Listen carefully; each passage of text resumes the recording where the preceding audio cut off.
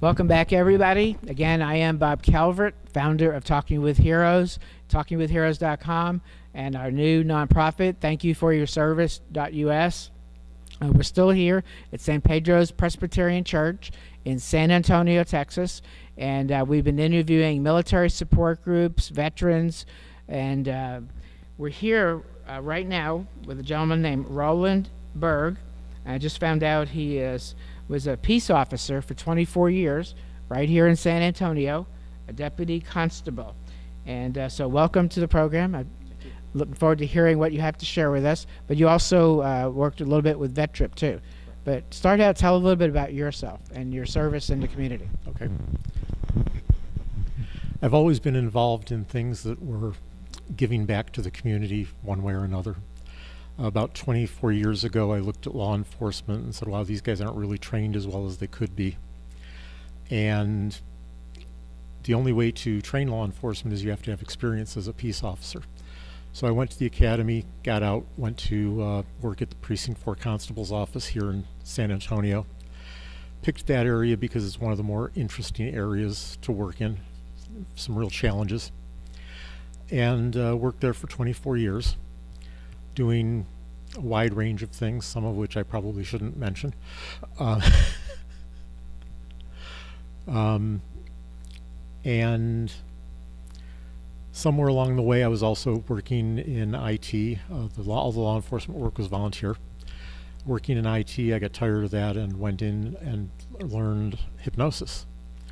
And the process of learning hypnosis, I went, this is really cool stuff and I came out of my training and said, hey, where's the deep end of the pool?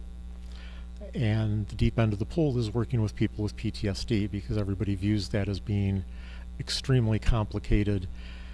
But everyone looks at the symptoms and they seem to focus on the symptoms rather than focusing on the root cause. So my approach involves focusing on cleaning up the root cause, and a lot of times the symptoms just go away on their own.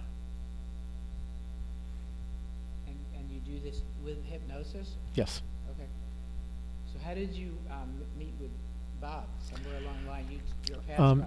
Yeah, I was uh, at a holistic festival as one of the vendors, and someone came over and said, "Hey, you should contact this organization." It was, uh, I believe, it was an acupuncturist, and he said, "Hey, you need to contact this organization." So I called Bob, and then I spent. Uh, several hours with him, convincing him that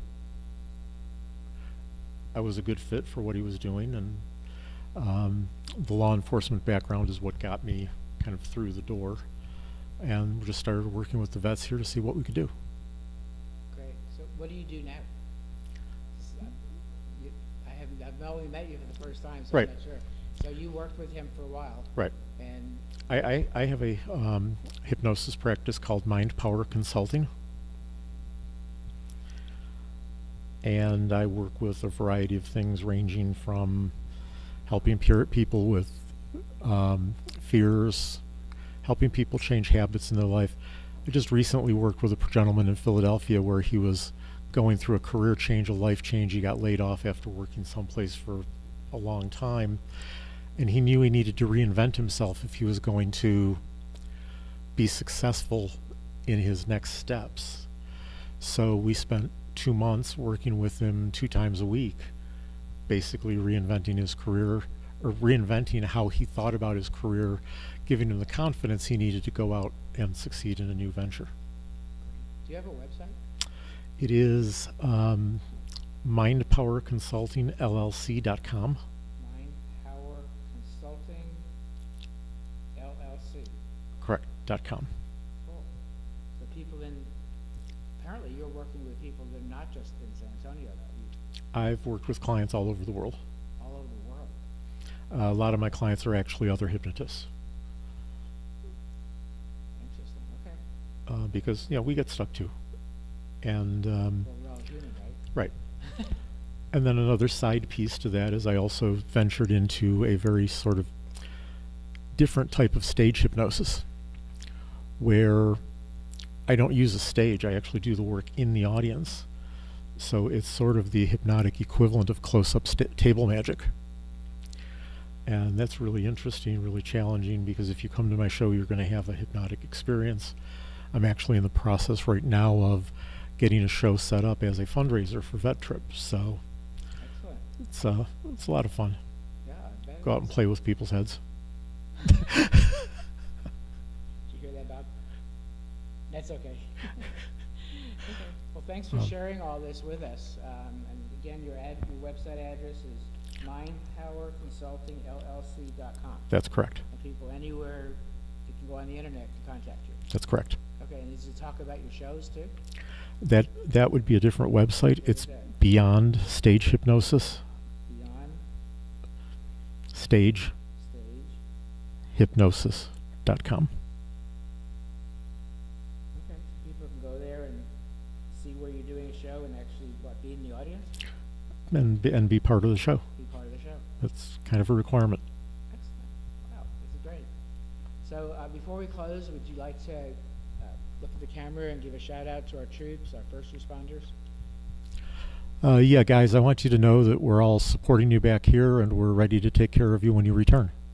And if you're a first responder in this area, don't be afraid to ask for help. Great. Thank you. Thank you for your service and for continuing to serve. Thank you. Appreciate it. Once again, folks, you've been watching on TalkingWithHeroes.com. Uh, check out our new uh, nonprofit, Thank You for Your Service.us. And we've been broadcasting here from San Pedro's Presbyterian Church in San Antonio, Texas. Uh, to all of our men and women who are serving, being deployed uh, around the world, be safe, stay alert. We look forward to you all coming back soon. To our first responders, uh, uh, be safe. Uh, thank you for your service and all of our veterans, all families that are in a military or first responder family. So God bless you. God bless America.